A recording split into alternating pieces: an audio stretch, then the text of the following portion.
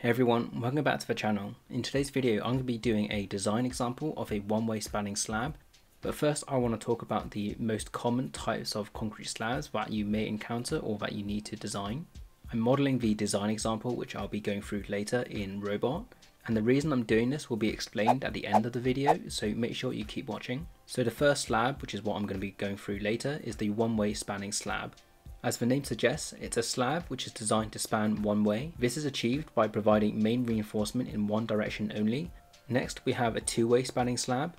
Again, as the name suggests, this slab spans in both directions. Generally, a two-way spanning slab is supported on concrete beams. I don't find these particularly common anymore and designs are normally done as flat slabs. Flat slabs are very similar to two-way spanning slabs except they don't rely on beams for support at the edges Flat slab design is very important and it's imperative to learn how to design them. Flat slabs are very efficient and architects and contractors like them. They like them because of the flat soffit which looks a lot neater and contractors like them because they are really quick to construct. Setting up formwork is very time consuming and keeping it a flat soffit makes it easier to compare to setting up formwork for downstand beams which is what you'd need to do for a two-way spanning slab. Next we have post-tension slabs which are very similar to flat slab design only with the added post-tension strands that are installed. These strands enhance the flexural capabilities of the slab.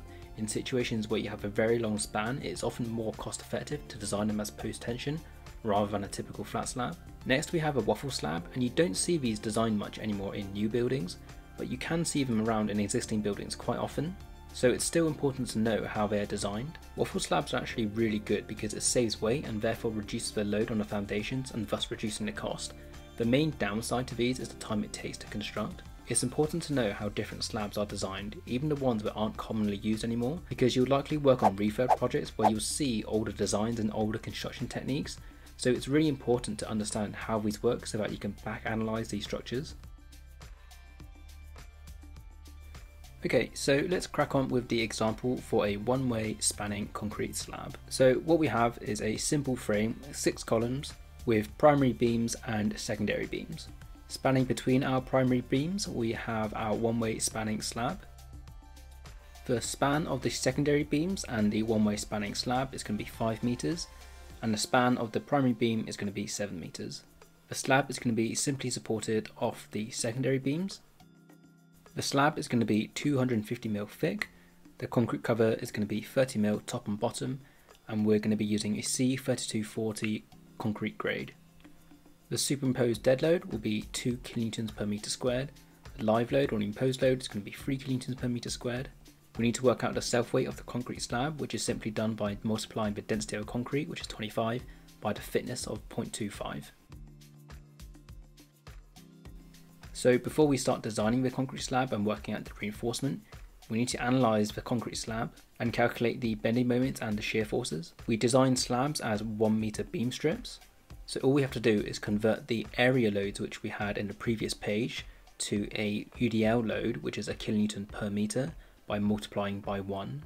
I like to sum up the loads as unfactored and factored and I'll be using the Eurocode factors so 1.35 for dead and 1.5 for live. So first we need to work out the bending moment, which is simply WL squared upon 8, and then the shear force, which is W times L over 2. Now that we've worked out the bending moment, we can now design the slab and work out the reinforcement required for the concrete slab. So first we need to work out the K value, which is M over BD squared times FCK. We haven't actually worked out the effective depth yet, which is D, so let's go ahead and do that. The effective depth is the height of the section minus the cover minus half of the main bar. Because we haven't actually worked out the size of the bars yet, let's just guess that the main bar is going to be 20mm diameter. Now that we calculated the effective depth, let's just plug in the numbers and work out the K value. In the UK, we want the K value to be less than 0.168, and this ensures ductile failure. If it's less than 0.168, it means that we don't need compression reinforcement. Next, we need to work out the lever arm Z, which is denoted by this formula. The lever arm Z needs to be less than or equal to 0.95D. Plug in the numbers and you'll work out the value of Z. In this instance, the value of Z is actually greater than 0.95D, so we actually need to use the value of 0.95D in our next equation. So to work out the reinforcement it's really easy. All it is is the moment divided by the design yield stress of reinforcement times by Z. Plug the numbers in and we get a reinforcement required of 565 millimeters squared per meter. It just so happens that H12s at 200 centers is exactly 565 millimeters squared per meter, so we'll be using that. It's also worth checking the AS min, which is the minimum steel required in the concrete section. You can find the value of FCTM in the code. In this instance, because we're using FC3240 concrete, the value of FCTM is free.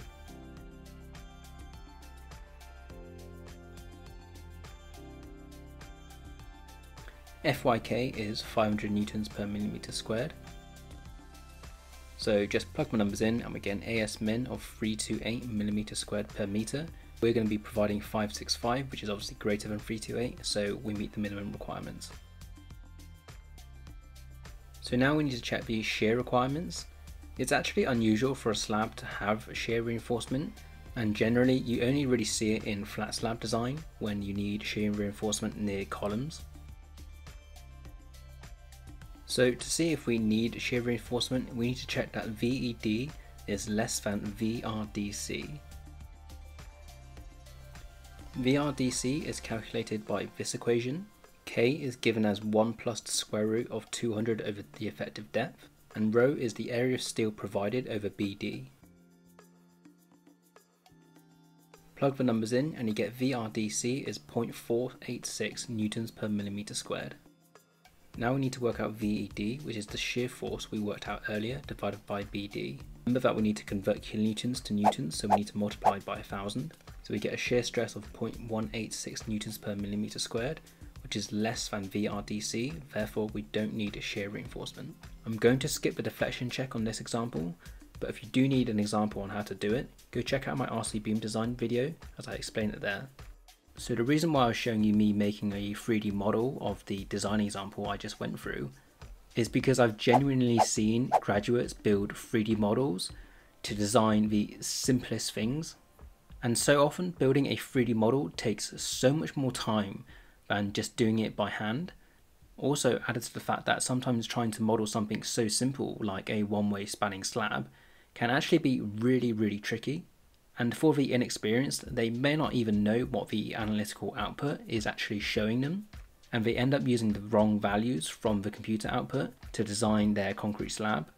Using analysis software is actually very dangerous if you're not doing the right checks by hand, so you really do need to understand how things are designed and analysed by hand first before you jump onto a computer program. We can actually see that the load has actually transferred like a one-way spanning slab because you can see that the bending moment and the shear forces on the beams look about right. But when you jump on to look at the bending moments for this slab, it actually looks completely wrong and not like a one-way spanning slab at all. I won't get into how to actually model a one-way spanning slab because to be honest I don't think it's even worth the time to do it. If you need to design a one-way spanning slab, just do it by hand, it's so much easier and so much faster. If you've enjoyed the video, please remember to like and subscribe and I'll catch you in the next video. Cheers.